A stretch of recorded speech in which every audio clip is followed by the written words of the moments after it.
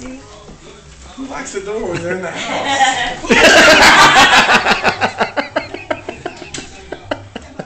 I just saw something flying at me.